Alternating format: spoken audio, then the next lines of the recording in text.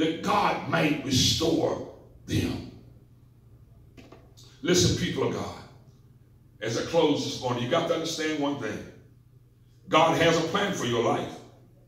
And the plan for God's life is to give you restoration, even some of it down here on earth.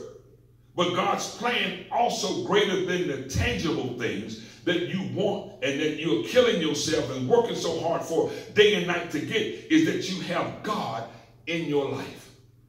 Without God, you don't have anything. Without God, you can't make it. Without God, really, you can't live. Listen, the things that I have down here are temporary.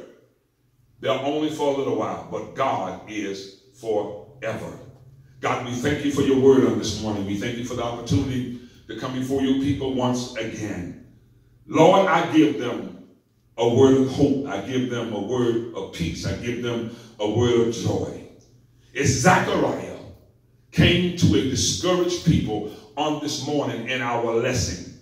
Men of God, women of God, everywhere, all over the world is bringing words of encouragement to your people. Encouraging them that God is yet God, not to lose hope, not to fail, not to give up, because God has not changed who he is. So I encourage you on this morning, hold on to God, unchanging hand. And God is working it out. He is in control of your lives. God bless you and God keep you is our prayer. Hold my hand, Lord. Hold my hand.